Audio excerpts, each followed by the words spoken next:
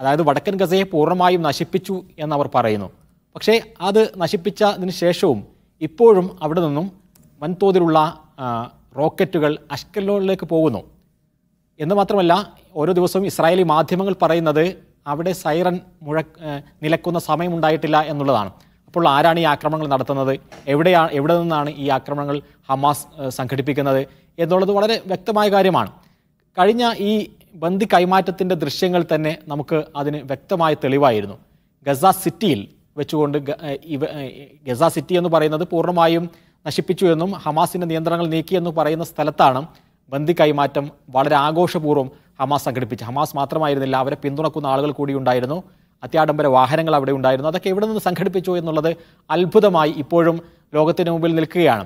ഈ ഘട്ടത്തിൽ തന്നെയാണ് ഇപ്പോൾ അവർക്ക് ചെയ്യാൻ സാധിക്കുന്നത് ഇസ്രായേലിന് ചെയ്യാൻ സാധിക്കുന്നത് പരമാവധി അവിടെയുള്ള ആളുകളെ കൊന്നൊടുക്കുക അതോടൊപ്പം തന്നെ സംവിധാനങ്ങളെ തകർക്കുക.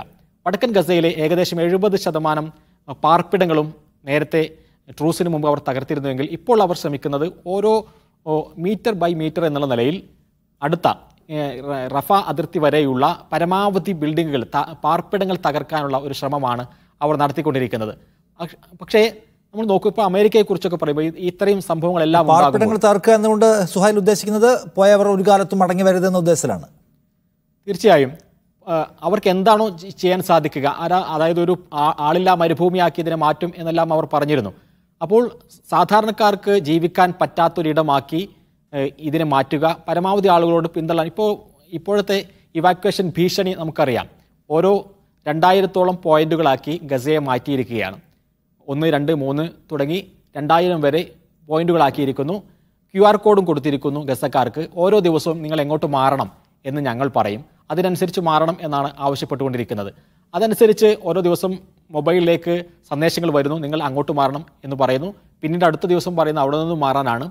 ഏറ്റവും ഒടുവിൽ റഫ അതിർത്തിയുടെ ഒരു ചെറിയൊരു സ്ഥലത്തേക്ക് മാത്രം ഇത്രയും ആളുകളെ പത്തിരുപത്തിരണ്ട് ലക്ഷം ആളുകളോട് മാറാനൊക്കെയുള്ള നിർദ്ദേശം നൽകുന്നു. അതിനുശേഷം അവർ ചെയ്യുന്നത് ആ ഇടങ്ങളിലൊക്കെയുള്ള പാർപ്പിടങ്ങൾ തകർക്കുക എന്നുള്ളതാണ്. അപ്പോൾ മുഴു ഇപ്പോൾ എഴുപത് ശതമാനമാണ് പാർപ്പിടങ്ങൾ തകർത്തത് എങ്കിൽ നൂറ് ശതമാനവും പാർപ്പിടങ്ങൾ തകർക്കുക എന്നുള്ള രീതിയിലേക്ക് കാര്യങ്ങൾ പോകുന്നു.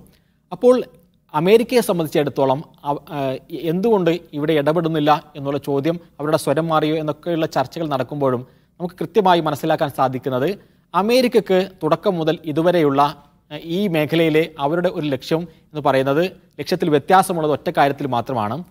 ഈ ഇതിന്റെ ഒരു യുദ്ധത്തിന്റെ വ്യാപനം എസ്കലേഷൻ ഒരിക്കലും ഉണ്ടാകാൻ പാടില്ല എന്ന് മാത്രമാണ് അമേരിക്കയ്ക്ക് കാര്യത്തിൽ നിർബന്ധമുള്ളൂ. ഈ ഹ്യൂമാനിറ്റേറിയൻ ക്രൈസിസിനെ കുറിച്ച് അല്ലെങ്കിൽ അവിടേക്കുള്ള സഹായത്തെക്കുറിച്ചെല്ലാം അമേരിക്ക പറയുന്നത് പോലും ആ ഒരു ലക്ഷ്യത്തിൽ വേണ്ടി മാത്രമാണ് എന്നുള്ളതാണ് നിരീക്ഷകർ പറയുന്നത്.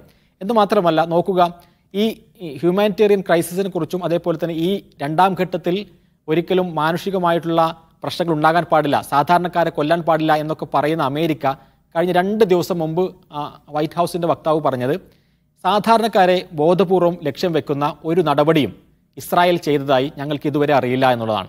ലോകത്തിനെല്ലാം അക്കാര്യങ്ങൾ മനസ്സിലായി.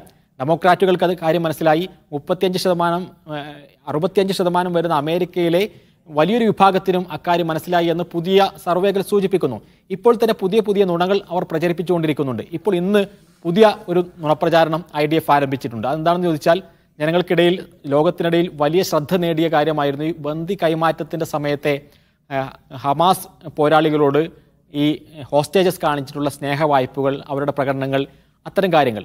ഇപ്പോൾ പുതിയ ഒരു നുണ അവർ പ്രചരിപ്പിക്കുന്നത് ഹമാസ് ഈ ബന്ദികളെ മോചിപ്പിക്കുന്ന സമയത്ത് ഉത്തേജക മരുന്ന് അവർക്കെല്ലാം നൽകി എന്നുള്ളതാണ്. അതുകൊണ്ട് ഈ ബന്ദി മോചനം നടക്കുന്ന ഘട്ടത്തിൽ ഈ മാസലാമ പറഞ്ഞതും അതേപോലെ തന്നെ ബൈ ബൈ പറയുന്നതുമെല്ലാം ഈ ഉത്തേജക മരുന്നിന്റെ എഫക്റ്റാണ് എന്നുള്ള ഒരു നുണയാണ് പ്രചരിപ്പിക്കുന്നത്. പക്ഷേ ഏറ്റവും കൗതുകകരമായ ഒരു കാര്യം എന്ന് പറയുന്നത് ഈ സംഭവങ്ങൾ പോസ്റ്റ് ചെയ്യുന്ന ഇൻസ്റ്റഗ്രാമിലും അതേപോലെ തന്നെ ഫേസ്ബുക്കിലുമെല്ലാം ഇതേ ഐഡികൾക്ക് താഴെ വരുന്ന കമന്റ് എന്ന് പറയുന്നത് അത് അറേബ്യൻ സമൂഹത്തിൽ നിന്നല്ല പ്രത്യേകിച്ചും വെസ്റ്റിൽ നിന്നടക്കം ഇത് കമന്റ് ചെയ്യുന്നത് എന്താണ് അവരുടെ മനസ്സ് എന്ന് ഞങ്ങൾക്കറിയാം. അത് ഞങ്ങൾ നേരിട്ട് കണ്ടതാണ്.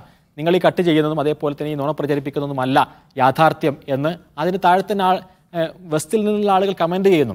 അപ്പോൾ ഈ നുണപ്രചാരണത്തിലൂടെ ലോകത്തെ മാറ്റിമറിക്കാൻ സാധിക്കുകയില്ല എന്ന ഘട്ടത്തിലേക്ക് കാര്യങ്ങൾ എത്തുന്നു.